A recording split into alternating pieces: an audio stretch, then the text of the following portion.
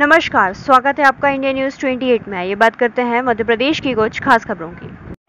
मध्य प्रदेश के रायसेन में धूमधाम से निकला विजयदशमी का चल समारोह। गैरतगंज में स्वास्थ्य मंत्री डॉक्टर प्रभुराम चौधरी हुए शामिल। सत्य पर सत्य की विजय के रूप में मनाए जाने वाले त्यौहार तो विजयदशमी के अवसर पर ढोल ताशे एवं डीजे के साथ माँ दुर्गा की झांकियों एवं भगवान श्री राम की शोभा यात्रा निकाली गई।